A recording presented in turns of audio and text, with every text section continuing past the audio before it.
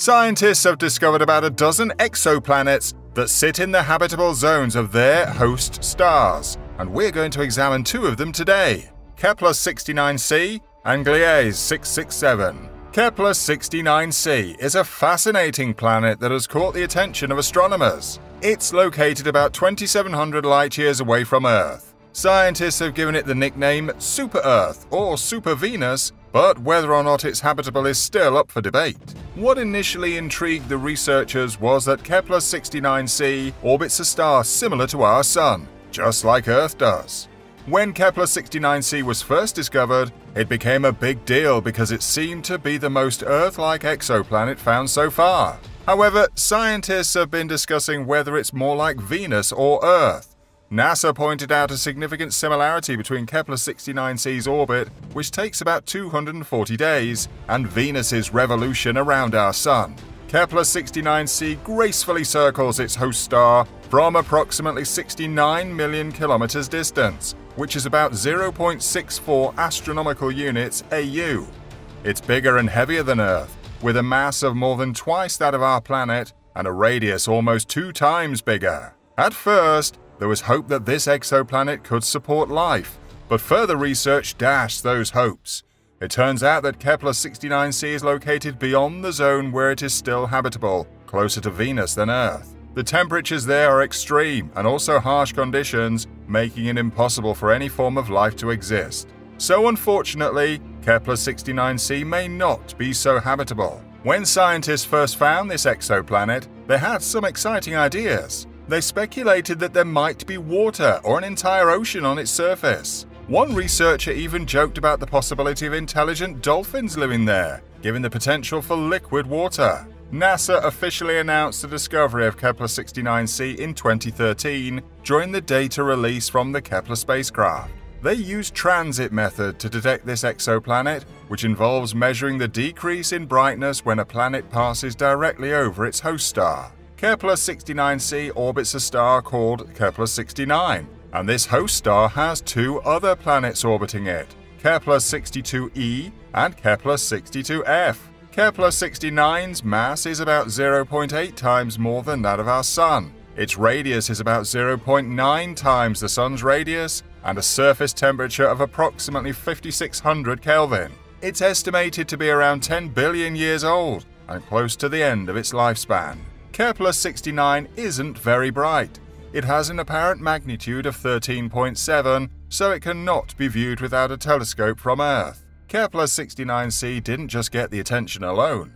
The two other stars orbiting its host star also got lots of attention in the media because they're sited in the habitable zone of their host star. This zone is where the conditions might be just right to support liquid water on a planet's surface. Kepler 69c's similarity in temperature and magnitude to our planet is why it became a top candidate for the possibility of hosting alien life. The amount of sunlight reaching Kepler 69c is subject to fluctuation in the characteristics of its star, which means there are wider ranges of possible values. If there's any water on Kepler 69c, then it is highly likely to find thick clouds.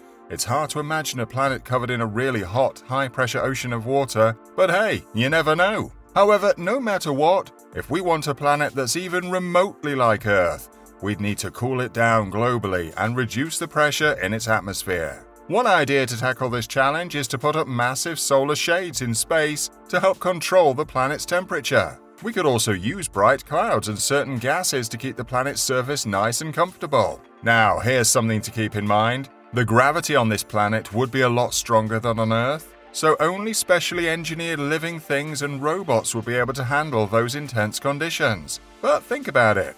With the way technology is advancing, and by the time we can travel to other star systems, we might just have the tools and know how to deal with this situation. Gliese 667 The exoplanet known as Gliese 667cc, or GJ667cc for short, has been hailed as the most similar celestial object to Earth that we've discovered beyond the Milky Way. The Gliese 667 orbits a unique star that astrophysicists are closely studying. Interestingly, GJ667cc has more resemblance to our planet than Kepler 69c, which was recently verified as a possibly habitable exoplanet. What's neat is that GJ667cc is only 22 light years away, which may sound far, but in cosmic terms it's quite close. So it's right here in our galactic neighborhood and has a strong chance of being a suitable place for life. It's amazing to think that not too long ago, just a couple of decades before scientists discovered that exoplanets exist, we could only imagine that these kinds of celestial bodies existed. Now we've confirmed the existence of over 700 exoplanets and have around 1500 more candidates waiting to be verified. Kepler 22b orbits a star that looks a lot like our Sun, while GJ667cc circles a red star known as an M-type spectral star. These M dwarfs are colder and have a compact size compared to our Sun, and they make up about 60% of all the stars we know about. Scientists and astrophysicists are conducting extensive research on these M dwarfs. It's interesting to note that most exoplanet hosting stars are mostly one of these M dwarfs, and that adds to the intrigue surrounding GJ667cc. The habitable zone of a star is the range of distances where a planet's surface temperatures could support the existence of liquid water, which is considered crucial for life as we know it. The habitable zone where our Earth resides in stretches for about 1 AU, which is the distance between the Earth and the Sun. However, due to the reduced energy that the GJ667cc's host star emits, its habitable zone is much closer to the star. If Earth were in orbit around this star instead of the Sun, it would become an icy world. Luckily, GJ667cc sits at a comfortable distance of about 0.120 AU from its star, which is 8 times closer than the Earth's distance from the Sun. The radiation that GJ667cc receives from its host star is almost 90% of the radiation that Earth gets from our Sun.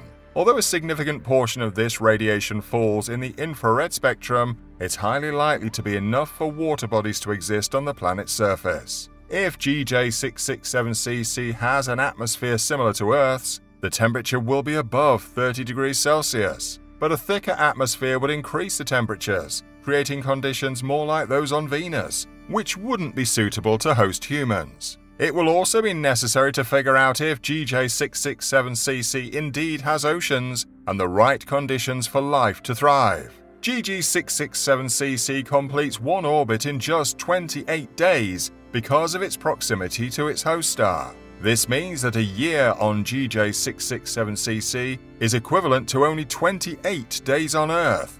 This interesting fact suggests that if someone lived on GJ667cc, they could celebrate their thousandth birthday, which would only be less than 100 years here on Earth. However, the length of the days on this planet might be very different. It is likely that because of GJ667cc's proximity to its star, it is locked tidally, similar to our moon, with one side always facing the star. As a result, one hemisphere would experience a perpetual day bathed in the intense light of the nearby star, while the other side would be in eternal darkness. These extreme temperature differences between the two hemispheres could significantly impact the planet's overall climate. The close distance between GJ667cc and its star means that the star appears much larger in the planet's sky compared to how small the Earth's sun is from Earth. The host star would look like a red disk, be about three times wider than the Sun, and cover an area about 10 times larger. Its faint red light will gently radiate from the planet's surface. There are two other stars in the same star system with the GJ667cc, the Gliese 667a and b, located about 230 astronomical units AU away. The distance is more than five times the distance between Neptune and the Sun, and much farther than the star system containing Gliese 667c. However, Gliese 667a and b would still be noticeable features in the sky of GJ667cc. Although there is a major concern associated with the GJ667cc's host star. The GJ667c is the family of dwarf stars known for producing very powerful flares of radiation and highly excited particles, and these flares from M dwarfs can be over 1,000 times more powerful than those from our Sun. They can also increase the star's brightness significantly within just a few seconds. For this planet to be able to host life on its surface, it will be highly necessary for scientists to resolve this issue, especially considering the planet's proximity to its host star. Another challenge comes from the strong magnetic field of the GJ667c. Red dwarf stars like GJ667c's host star often have star spots similar to sunspots, which can decrease the star's energy output by about 40 to 45% for several months. Also, red dwarf stars emit very little ultraviolet light. These fluctuations in brightness could potentially hinder the development of human life that we understand. Life on GJ667cc would offer a completely different experience than what we are used to on Earth. Scientists estimate that GJ667cc has a minimum mass of at least four times more than that of Earth, making it a bit larger and more massive than our planet. However, we still don't know its exact density or weight, so GJ667cc might be a gas planet unsuitable for supporting life. For the development of life, a small sized rocky or oceanic planet that has its radius ranging from about 1.5 to 2.0 times that of Earth would be ideal. Also, a planet with a higher mass can hold on to a more substantial atmosphere. As a result, the surface atmospheric pressure of GJ667cc will likely be higher than Earth's. If the planet's atmosphere is similar to Earth's atmosphere, then the atmospheric pressure will be higher by a bit. However, in an extreme scenario like Venus's atmosphere, it will be more than 100 times greater, similar to the pressure at the ocean's depths. And that brings us to the end of this video. If you like this video, click on the screen to watch other videos like this one. Don't forget to like, subscribe and click on the notification bell to get notified when we post a new video.